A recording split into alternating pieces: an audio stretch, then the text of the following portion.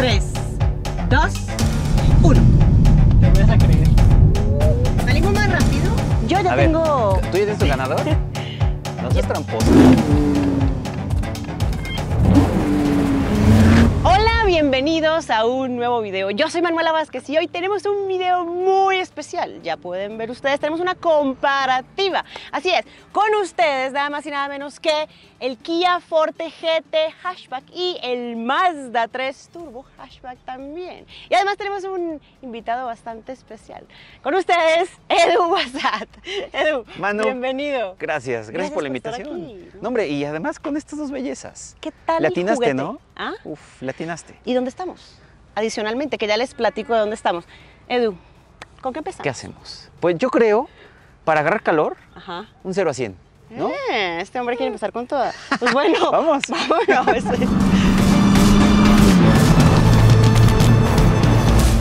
Pero antes de comenzar con ese 0 a 100, vamos con algunos datos y sus diferencias. Comencemos con sus motores. Kia Forte GT lleva un 1.6 litros turbo GDI que desarrolla 201 caballos de potencia y 195 libras-pie de torque, mientras que Mazda 3 Turbo lleva un 2.5 litros turbo Sky Active G que desarrolla 227 caballos de potencia y 310 libras-pie de torque.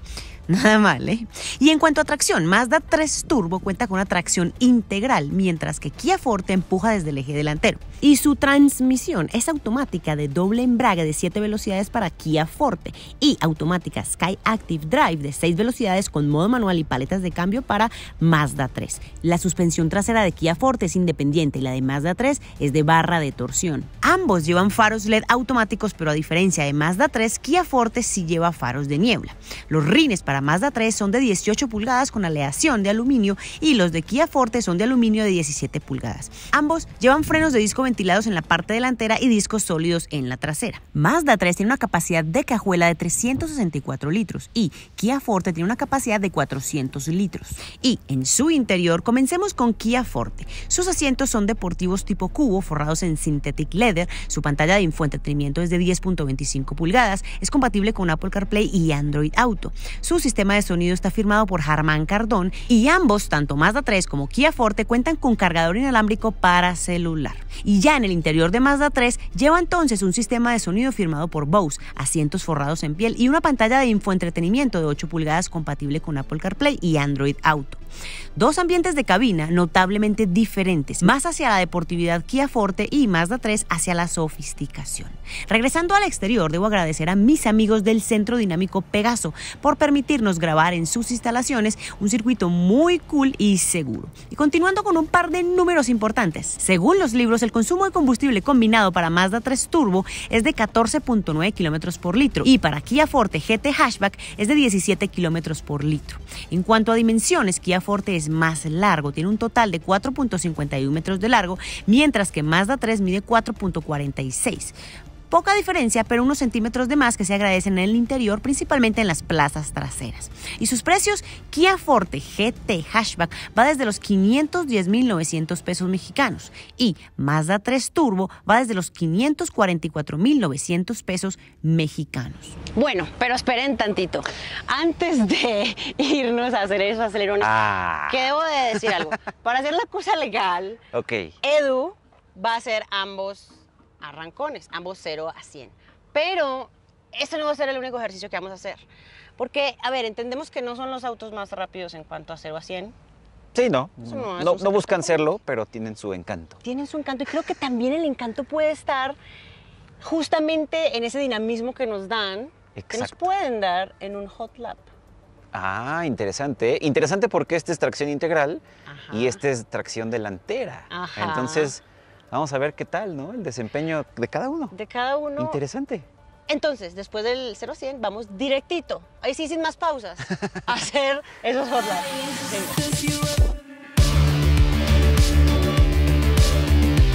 ¿Listo? ¿Nervioso? Da un poquito de nervios, ¿no?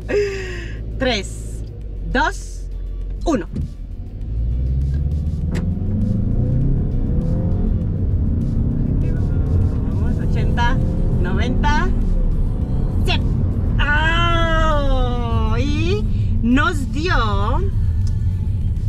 9 9 segundos con 78. Bien. ¿Cómo ok, ves? Ok, bien, ¿no? Los Está- libros dicen que hace 7 segundos. Siete segundos. Eso es en condiciones perfectas. O sea, Llantas, ideales, ¿no? altura, bueno, sí, muchas cosas. combustible al mínimo. Aquí estamos dos personas. Medio tanque. Medio tanque. Estamos eh, en una pista que no está muy, muy. eh, no tiene buen grip porque hay un poco de, de tierrita. Entonces, eso nos da una idea de lo que hace el Mazda 3.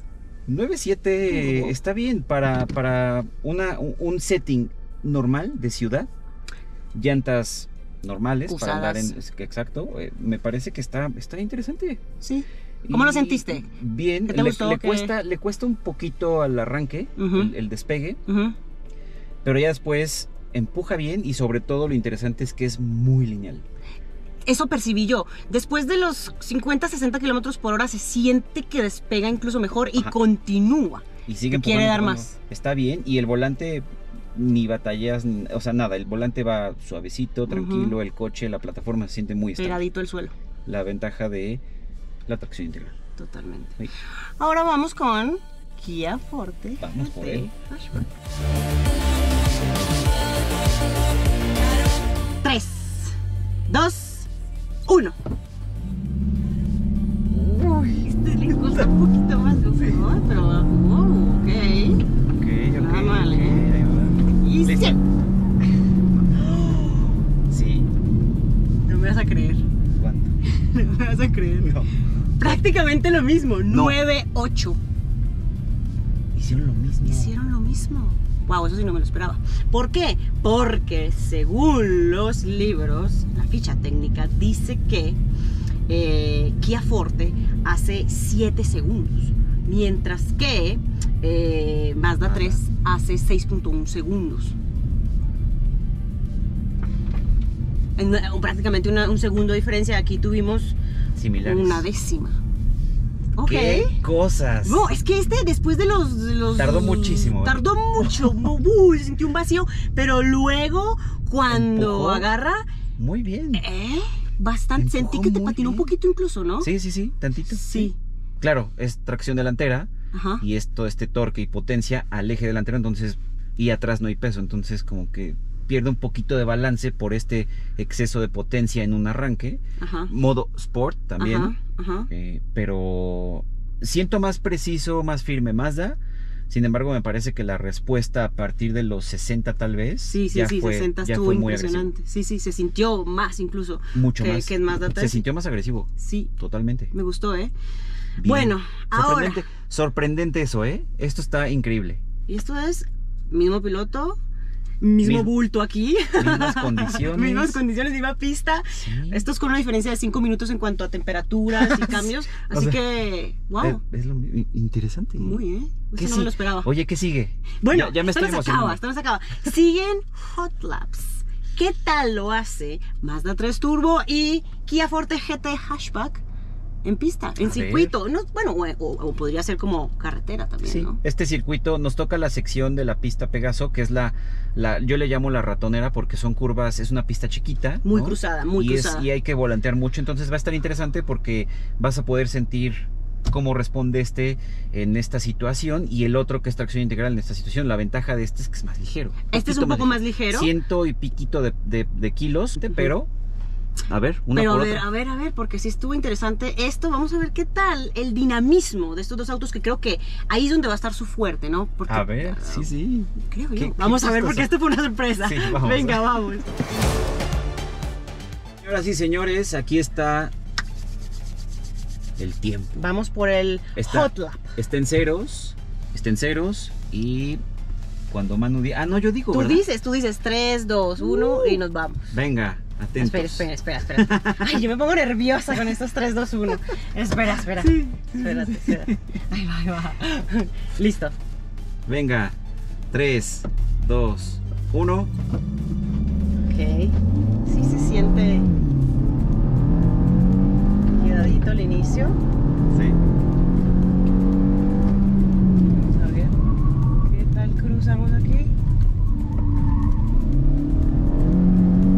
frente, pero no tanto, ¿eh? No, va. No, bastante balanceado, ¿eh? Aquí. Se ayuda a girar un poquito de la colita, ¿eh? Me gusta. Mm. Ahí sí, sí se me quedó un poquito. Yo creo que entró, entraron las ayudas, ¿eh? Sí, ahí está el control de tracción. Ajá. Justo. Vienes en modo sport. Que Vengo en modo sport. Okay. Aquí es cemento pulido. Ay, se lisó, ¿viste? Sí. Pero eh, divertido, divertido. Sí, sí, tienes, sí, sí. tienes que entrar en el cuadro de salida, ¿eh? Frenar ahí. Ay. Voy a frenar suavecito Cuando para no total. Ahí ya. 55.97. Ok, ok. Muy bien. Estuvo divertido. Muy bien. Me esperaba que se fuera a ir un poco más de frente. eh, me parece que transfiere bien los pesos. La transmisión lo hace bien. Sí me gustaría que fuera un poco más rápida. Me la esperaba un poco más rápida porque es de doble embrague. Y en teoría, sí, claro, debería Ajá. ser más rápido. Por ser doble embrague. Sí. ¿No jugaste con las paletas al volante? Eh, poco, solamente, la- solamente cuando, cuando quería bajar y que, sí- Ok. que me ayudara un poco a, A salir mejor. a- a salir mejor. Eh, pero balanceado en general. Sí te vas a divertir. Obviamente eso es un circuito, como tú decías, no es de velocidad, Sí, es no. muy cruzado, Muy técnico. muy técnico, pero te da una idea de lo ágil que puede ser el auto. El volante transmite muy bien. Se siente. No, y, y de este lado, Ajá. debo resaltar que me sentí. Digo, te conozco, sé que le das muy bien, pero además el coche te, te sientes bien, te sientes. Te sientes seguro. No se sintió con que hizo Así ningún um, extraño en ningún momento. No, no, no, no. muy bien, ¿eh? ¿Eh? 55.97. Ahí está, señoras y señores, el tiempo de Manu en el circuito pequeño de Pegaso. en Kia Forte GT. Ahora vamos con Mazda 3 Turbo, que es tracción integral. Tenemos un motor un poco más grande, también turbo. Tenemos más caballaje. Entonces, pues, yo espero que el tiempo sea mejor. ¿Lista? Lista. 3, 2, 1. Ok, ahí va, ahí va, ahí va. Oh, ventana arriba.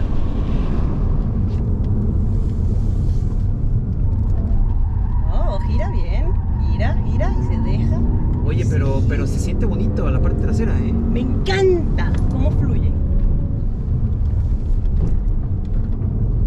Se siente como flecta este chasis. Mm. Te regresa bien. Sí, Se regresa comporta bien. muy bien. Ajá. Se siente perfecto acá, ¿eh? Lindo, lindo, bonito, frena muy bien. Ok, aquí estamos en el Cemento pavimento, pulido. eso es, sí. cemento liso. Está. Uh, salimos más rápido porque se me fue más, ¿eh? Recuerda, tienes que entrar, tienes que entrar en el cajón. Ahí va, ahí va, a ver, a ver, a ver. ¿Cuánto? ¿Cuánto? ¡Ah, ya quiero ver! ¡Muéstrame! ¿Más rápido? 54. Sí, sí, Mira. 5 segundos menos. El otro hicimos 55.9, 59. ¿no? 559. 59. Un segundo más rápido. Un segundo más rápido, tienes razón. Un segundo más rápido. Un segundo más rápido. Bueno, ahí está. ¿Y cómo lo sentiste? Te voy a decir algo. Bueno, no, no me quiero adelantar. ¿Sabes qué? Vamos a las conclusiones, ¿te parece? Va. Vámonos a las conclusiones. Yo ya A ver, tengo... ¿Tú ya tienes tu ganador? No seas tramposa. Te voy a decir una cosa, tengo un ganador para cada una de las pruebas, porque creo que eh, me sorprendió uno en una de las pruebas y me sorprendió el otro en otra de las pruebas. Entonces, no tengo un uno que ganó todo, la experiencia. Yo sí, pero ¿Tú bueno, sí? yo sí. Ok. Yo sí. Cuéntame. cuéntame. Pero, pero eh, es que sí tienes razón en las pruebas, hay que valorar mucho eso. Ajá. Em, Pero todo lo demás también. O sea, los hemos podido manejar en ciudad y en carretera los dos. Entonces creo que ya si nos vamos un poquito más a- al general eh, del auto en ciudad, carretera eh, y, y pista, la, la vivencia aceleración real del auto todo esto, en- del día ajá, a día. creo que yo Te sientas en él.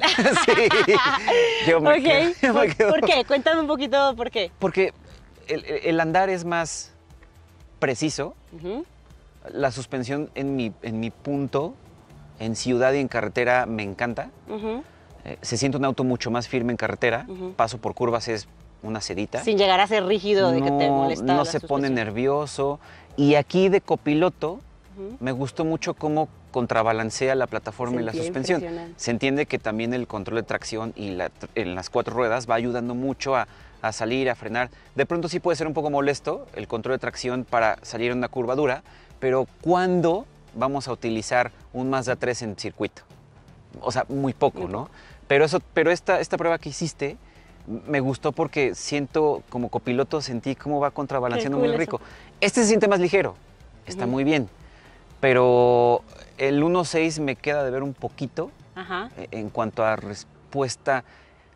No sé, siento que le falta. O sea, tenemos 150, 140 kilos extras aquí de peso. Y el 0 a 100 que hicimos, eh, igualmente, está muy parejo. Está, ya el lo cero vimos. cien está súper parejo. Ya lo vimos. Eh, tardan los dos muchísimo en arrancar. Eso es- eso es- no están hechos para correr. No están hechos para un arrancón ni, ni- ¿no? ¿Para qué están hechos? ¿Cómo los definirías tú? Yo lo defino como un auto, los dos ideales Ajá. para carretera.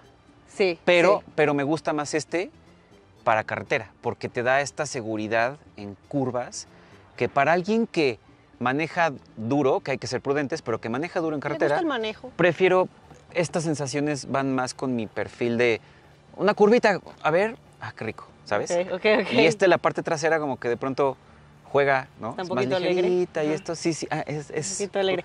¿Y para ciudad?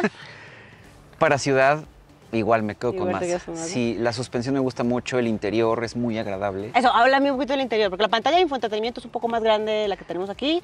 Sí. Es un poco más pequeña, sistema de sonido distinto. Eh, ahí, ¿qué piensas? ¿Cómo lo Sistema de sonido, me gusta más el Mazda, me gusta más el infoentretenimiento Ajá. de Kia ajá. y en postura de manejo me parece que los dos están ideales. Este es más, más futurista, más envolvente, más y este es más normal, ¿no? Este es más, mm, pero estos interiores rojos y, y el tablero asimétrico y todo es fluido por dentro, ¿no? Este va- a unos les gustará esto, a otros les gustará esto. Sí, al final Ah. el diseño es muy de gustos. Exacto, ¿no? ¿Y, y qué te da más confort? A mí me, me gusta más este Mazdita para el cotidiano y para carretera. Mazdita, dice él. tan Mazda prudente, bebé, tan Mazda 3 bebé. Bueno, hay, hay una diferencia de precio. Sí, que no es también. demasiado. No, a ver, no, son no. 34 mil pesos mexicanos, lo que son aproximadamente unos 1.500, 1.600 Por ahí. dólares americanos. Ajá, sí. Que a ver, pueden ser importantes porque Sí. mm, depende de, de- De tu presupuesto y qué quieras. Ajá. También los mantenimientos tienen un poquito de diferencia en cuanto a que, en qué momento se hacen y en cuanto a precios, que ahí ya les dejamos esos, esas- Esos datos. números. Em, Hay una contra. ¿Cuál? Hay una contra de Mazda, contra, contra Forte. ¿Cuál? El consumo de combustible. Este es demasiado dragón de combustible, es un 2.5, sí, pero consume muchísima gasolina. Si quieren algo más eficiente, ¿no? este, este va muy bien, con este torque, con esta potencia, con esta, ¿saben?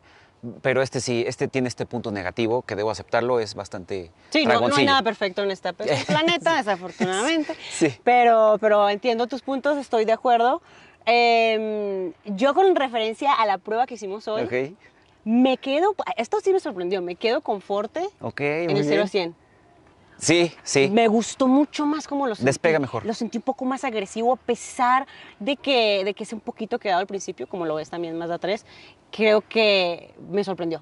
El turbo O sea, lag en los dos es el evidente. Turbo lag en los dos es evidente, lo sentí un poco menos aquí. De acuerdo. Lo hace mejor Sí. es- este con su turbo. y, y por eso yo creo que el, el 0 a 100 me sorprendió. En cuanto a dinamismo, ya en circuito, pero lo que podría ser carretera, manejo como tal, sí se lo doy a Mazda Mazda bebé. 3. Sí se lo doy a Mazda, a tu Mazda bebé. Eh, en el manejo del día a día, yo creo que tenemos algunas ventajas aquí porque tenemos un poco de mayor altura con relación al suelo. Sí. Vamos a tener menos problemas con topes y En así. nuestras ciudades. Sí, Ah, nuestras bellas ciudades latinoamericanas donde los Sí. hoyos se atraviesan, De la nada, ¿De la apareció nada? de la nada, sí. son descarados. Eh, para carretera me quedaría también con, con Mazda 3. Y Sí. en cuanto a interiores y, y este tema, creo que están muy parejos. Muy parejos. Creo sí. que están muy parejos. Los dos están muy bien logrados y desarrollados y pensados y son ergonómicos y son cómodos. Sí. Totalmente. Pero creo, ahora que lo mencionas, es más amplia la parte trasera de... Las plazas traseras de, de Forte son más amplias Son que las de poco Mazda. más amplias. Eso sí, eso es un pero Sí. de, de Mazda 3. Sí, sí, Tienes sí. toda la razón. Sí, en cuanto a cajuela estamos muy similar. Muy similares, sí. 300 y Eh. pico litros de capacidad. De todas formas, ahí lo vas a poner. Sí, sí, ahí están todos los datos. Todos los datos ahí, las dudas.